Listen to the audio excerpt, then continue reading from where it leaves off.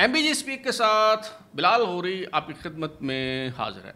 जब से सबक D G I S I lieutenant general retired Faiz Hamid को हिरासत में लेकर उनका फ़ील्ड जनरल कोर्ट मार्शल करने का ऐलान किया गया है, उस वक़्त से ये चहमगोइयाँ हो रही हैं कि सबक army chief general retired Qamar Javed Bajwa को भी गिरफ़्तार करके उनका कोर्ट मार्शल किया जा सकता है। क्योंकि अगर जनरल फैज़ हमीद की बात करें तो जब वो मेजर जनरल के रैंक में डीजीसी थे या जब वो डी सी थे लेफ्टिनेंट जनरल के रैंक में तो उन्होंने जो कुछ भी किया उस वक्त के army chief general Qamar Javed Bajwa की तायद हिमायत के साथ किया। आर्मी चीफ की तायद हिमायत के बगैर वो कुछ करने की पोजीशन में नहीं थे। बिलखसूस जब मौजूदा army chief general Asim Munir की योम आज़ादी के मौका पर सबक फौजी अफसरों के साथ मुलाकात हुई तो इसमें हमें कई अफवाज पाकिस्तान के सबक सरबराहान दिखाई दिए कई जो रिटायर्ड जनरल साहिबान हैं, वो नज़र आए। मिसाल के तौर पर जनरल इशफाक परवेज़ क्यानी नुमायाँ थे, जनरल राहिर शरीफ दिखाई दिए, जनरल नदीम रज़ा समेत कई जो रिटायर्ड जनरल हैं, वो इस तकरीब में नज़र आए। लेकिन सबक army chief general Qamar Javed Bajwa कहीं दिखाई नहीं दिए, जिससे इस तासर को मज़ीद तकवीत मिली और गुज्त शब भी ये अफवाहें जेर गर्दिश रहीं। कि सबक army chief general Qamar Javed Bajwa की रिहाइश गाह पर इजाफी सिक्योरिटी तैनात कर दी गई है और बहुत जल्द उन्हें धर लिया जाएगा और उनका भी कोर्ट मार्शल किया जाएगा। लेकिन हकीकत क्या है? क्या सबक army chief general Qamar Javed Bajwa का भी कोर्ट मार्शल किया जा सकता है? उन्हें भी कटहरे में, कानून के कटहरे में लाया जा सकता है। इस बात का कोई अमकान है या नहीं है, आज के शो में हम इसी हवाले से गुफ्तु करेंगे। तो जनाब, सबसे पहले जनरल कमर जवेद बाजवा की तरफ़ इशारा किया। सीनियर जर्नलिस्ट जनाब अबसार आलम साहब ने समा न्यूज़ के एक शो में जब इस वाले से बात हो रही थी और ज़िक्र हो रहा था कि 9 मई के दो मास्टर माइंड हैं, जनरल फैज़ हमीद और इमरान खान, इन दोनों की बात जब हो रही थी तो अबसार आलम साहब ने कहा कि एक तीसरी शख्सियत भी है और उनका किरदार जो है वो बड़ा अहम है और देखना ये होगा कि क्या वो इन सब बातों की ज़िम्मेदारी लेंगे या फिर सारा मलबा जनरल रिटायर्ड फैज़ हमीद पर डाल देंगे और जब उनसे पूछा गया, इस्तफसार किया गया कि ये कौन शख्सियत है, क्या ये सियासी शख्सियत है तो उन्होंने कहा कि ये सियासी शख्सियत नहीं है, ये सिविलियन जो है वो नहीं है। उन्होंने नाम नहीं लिया, लेकिन अबसार आलम साहब का जो इशारा था, वो सबक army chief general retired Qamar Javed Bajwa की तरफ़ था। तो यही वजह है कि इस हवाले से मुसलसल गुफ्तु हो रही है और बहस तमहीस हो रही है कि क्या उनका नंबर भी आएगा, क्या उनका भी कोर्ट मार्शल जो है वो हो सकता है, क्योंकि वो जो मुलाकात थी जनरल आसम मुनीर के साथ, उसमें सबक जनरलों के साथ जनरल कमर जवेद बाजवा का ना होना एक बहुत बड़ा जो है वो अलामत है। उसकी जो है सिम्बोलिक सिग्निफिकेंस है तो क्या उनके खिलाफ भी किसी किस्म की कार्रवाई हो सकती है? तो जनाब, मेरी जो इस हवाले से मालूम हैं और मेरी जो राय है, मेरा जो तजिया है, वो ये है कि जनरल कमर जवेद बाजवा, सबक आर्मी चीफ, ये जो कार्रवाई हो रही है जनरल फैज़ हमीद के ख़िलाफ़, उनका कोर्ट मार्शल किया जा रहा है। इस हवाले से जनरल कमर जवेद बाजवा मुकम्मल तौर पर ऑन बोर्ड हैं, उन्हें अतमाद में लिया गया है। न सिर्फ़ वो ऑन बोर्ड हैं, बल्कि जनरल कमर जवेद बाजवा ने इस हवाले से बाज़ अहम मालूम सबूत और शवाहद भी फराहम किए हैं और आइंदा भी कोर्ट मार्शल मार्शल की प्रोसीडिंग के दौरान अगर ज़रूरत पड़ती है तो उन्होंने हर मुमकिन ताउन की यकीन दहानी करवाई है अफवाज पाकिस्तान को। और ये तासर जो है, वो भी दुरुस्त नहीं है कि आई एस आई चीफ या I S I army chief के बगैर कुछ करने की पोजीशन में नहीं होती। अगर हम बात करें आइनी और कानूनी पोजीशन की बात करें, इसमें कोई शक नहीं है कि आईएसआई में कलीदी उहदों पर अफवाज पाकिस्तान के हाजिर सर्विस जो अफसर हैं, वो तैनात होते हैं। बाज़ रिटायर्ड अफसर्स को भी कंटेक्ट पे जो है वो तैनात किया जाता है। तो इस हवाले से आर्मी चीफ का असर रसूख और कंट्रोल तो होता है आई एस आई पर। लेकिन अगर आइनी और कानूनी पोजीशन की बात करें हम तो आई एस आई जो है वो वज़ी अजम के मातहत है और डी जी आई जो है वो आर्मी चीफ को नहीं, बल्कि वज़ी अजम को जो है वो जवाबदेह हैं। हाँ ये ज़मीनी हकायक अपनी जगह हैं हमारे मुल्क में कि वज़ी अजम साहब जो हैं वो बेख्तियार होते हैं और इस ये जो आइनी और कानूनी पोजीशन है बिलूम ये एक्सरसाइज नहीं की जाती। हाँ अगर वज़ी अजम और डी जी आई सी के दरमियान कोई नेक्शस डेवलप हो जाए, उनके दरमियान गठजोड़ हो जाए, वो दोनों असहाब जो हैं वो एक पेज पे मौजूद हों और उनका जो है वो इतफाक़ हो।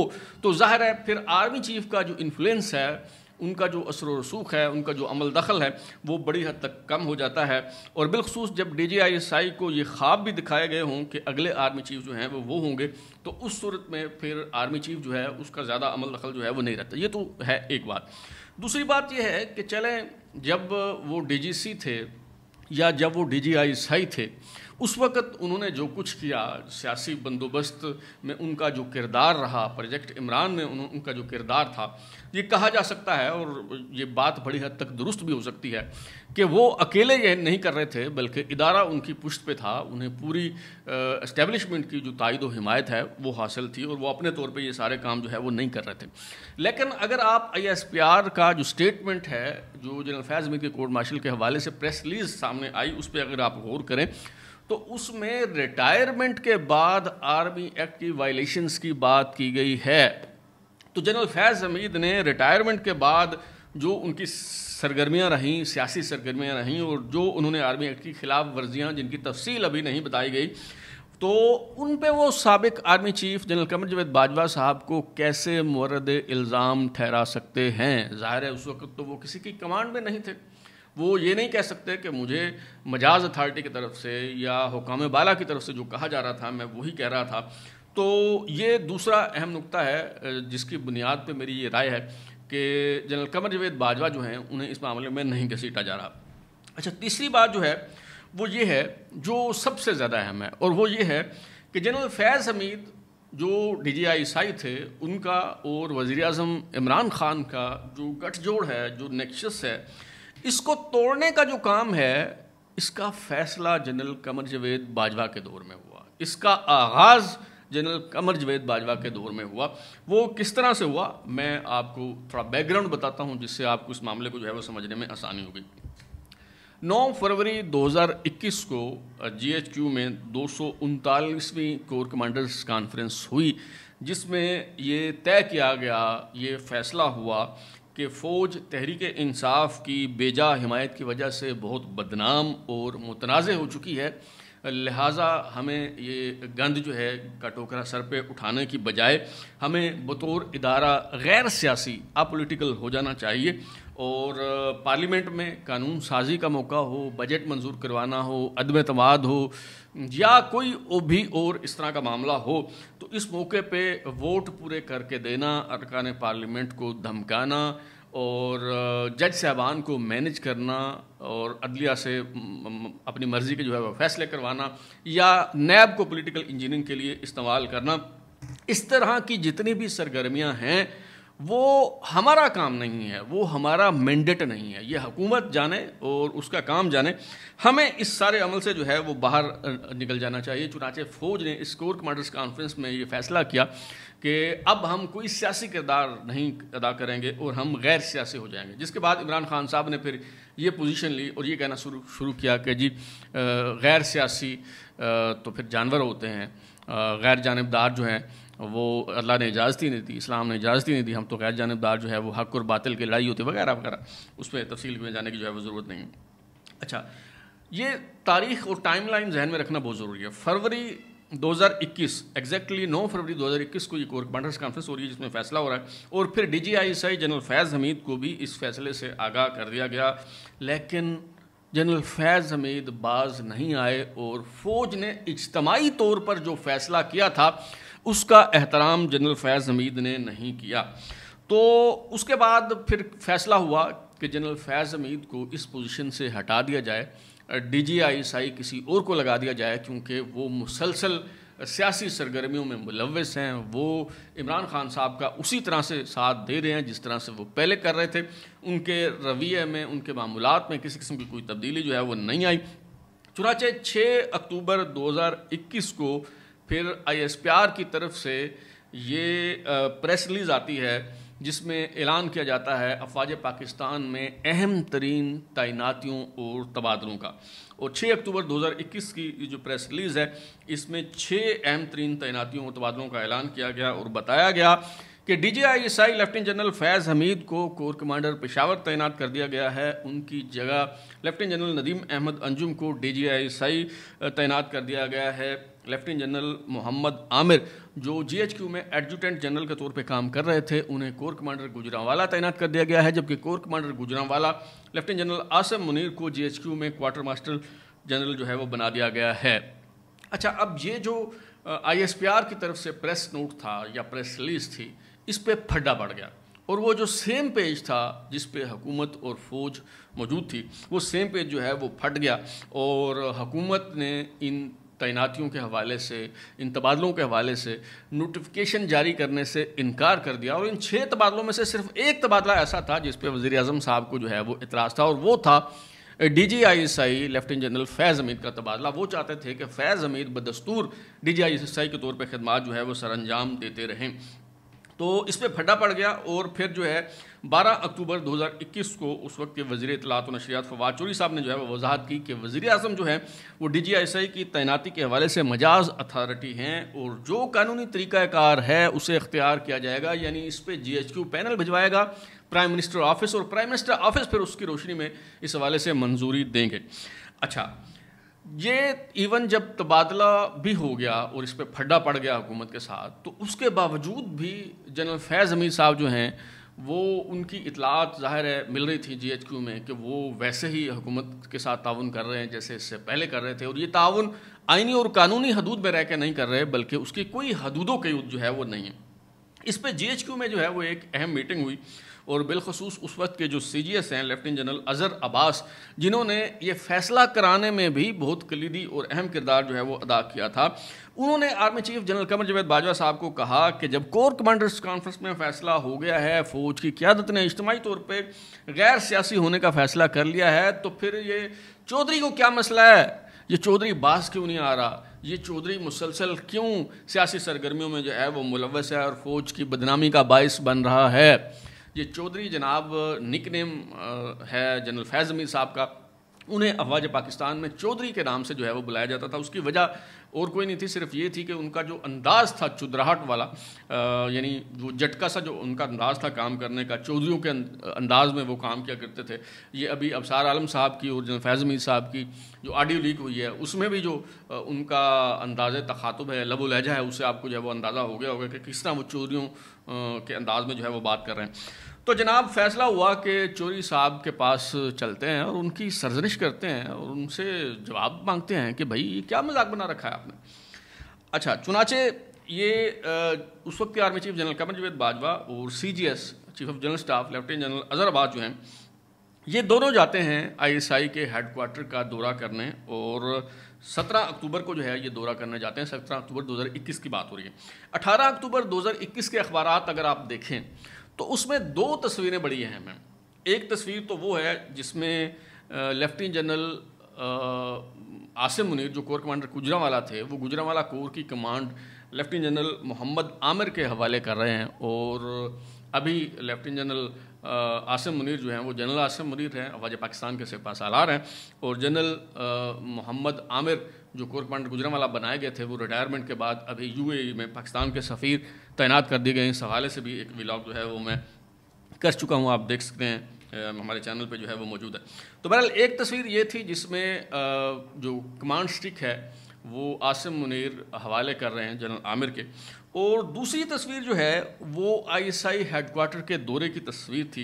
ये तस्वीर अगर आप देखें तो मरकज़ी नशस्त पे जनरल कमर जवेद बाजवा जो हैं, वो विराजमान हैं, जबकि C G S lieutenant general Azhar Abbas और D G I S I lieutenant general Faiz Hamid जो हैं, वो आमने सामने बैठे हुए हैं। और बाकी जो तीन लोग हैं वो यूनिफॉर्म में हैं जिसमें सी जी एस भी हैं और आर्मी चीफ भी हैं। लेकिन जो डी जी आई आई हैं जनरल फैज़ हमीद उन्होंने सुरमई रंग का पेंट कोट जो है, वो पहना हुआ है। सुर्ख रंग की उन्होंने टाई जेबतन की हुई है, सफ़ेद रंग की शर्ट पहनी हुई है उन्होंने। और उनके चेहरे पर हवाइयाँ उड़ रही हैं। वो उनके चेहरे पर जो हवाइयाँ उड़ रही हैं और जो परेशानी के तासुरात आपको दिखाई दे रहे हैं वो इसलिए दिखाई दे रहे हैं कि इस मीटिंग में, इस नशस्त में उनकी सख्त सरजनिश की गई, डांट डपट की गई, उनसे जवाब तलबी की गई और पूछा गया उनसे कि भाई आप क्या चाहते हैं? आप फौज का इज्तमाही जो फैसला है, उसकी पाबंदी क्यों नहीं कर रहे? और आप मुसलसल इमरान खान साहब का साथ और वो भी अपने दायरा कार से हट के क्यों दे रहे हैं आप साथ? अच्छा और कंक्लूड ये मीटिंग जो है वो इस तरह से हुई, जनाब लेफ्टिनेंट जनरल फैज़ अमीर साहब को कहा गया कि जी, आपका तबादला हो चुका है और बहुत जल्द प्राइम मिनिस्टर ऑफ़िस से नोटिफिकेशन हो जाएगा और आपने पेशावर में जाके आपने चार्ज लेना है कोर कमांडर पेशावर के तौर पे। और जितने दिन आप यहाँ पे हैं, उस वक्त तक जब तक आपका नोटिफिकेशन नहीं होता, आपने कोई ऐसी वैसी हरकत नहीं करनी और आपने अपने दायरा कार में महदूद रहना है और अब आपकी कोई शिकायत ना मिले। लेकिन जनरल फैज़ अमीर साहब जो हैं, वो बाज नहीं आए और जितने दिन वो आईएसआई में रहे, न सिर्फ़ ये कि उनकी सरगर्मियाँ जारी रहीं, बल्कि उन्होंने जिस तरह इमरान खान साहब के बारे में कहा जाता है कि जब उन्हें अंदाज़ा हो गया कि मेरे खिलाफ अदम अतमाद की तहरीक आ गई है और अब मेरा जाना जो है वो नवश्त दवार है तो फिर उन्होंने बारूदी सुरंगें बिछाना शुरू कर दी और वो जो पेट्रोल के हवाले से उन्होंने फ़ैसले किए, इकॉनमी के हवाले से कुछ ऐसे फ़ैसले किए कि जिसके बारे में कहा जाता है कि वो बारूदी सुरंगें बिछा गए ताकि आने वाले जो हैं वो इकानमी को चला ही ना सकें। तो जो जो फैज़ अमीर साहब हैं, उन्होंने भी यही काम किया और उन्होंने क्या किया कि आई के जो बहुत से डेक थे जाते जाते वो उन्हें ख़त्म कर गए।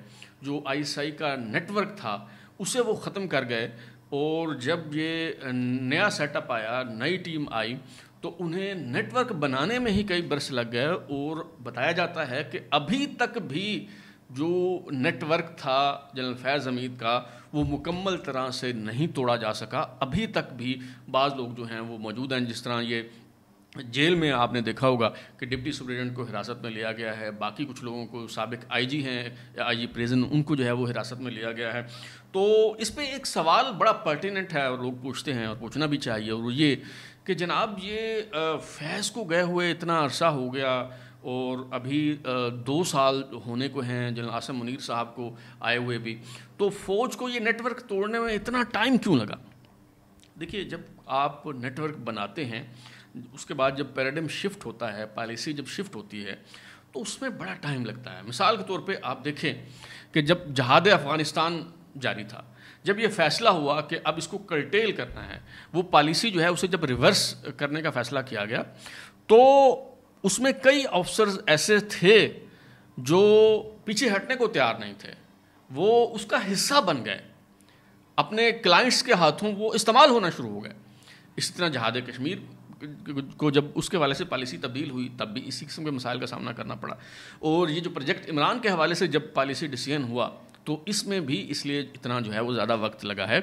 जब पॉलिसी तब्दील होती है तो रातों रात ये मुमकिन नहीं होता कि आप वो पुराना नेटवर्क तोड़ के नया नेटवर्क जो है वो ले हैं उसमें टाइम लगता है। अब तक लिए इतना ही। बिलाल और गुजार दीजिए, फिर मुलाकात होगी। अगर आपको हमारा शो पसंद आया तो उसे लाइक करें, कमेंट करें, शेयर करें और हमारा चैनल सब्सक्राइब करने के बाद बेल आइकन, यानी घंटी ज़रूर दबाएँ, ताकि आपको नई वीडियोज़ के नोटिफिकेशन मिलते रहें। बहुत शुक्रिया।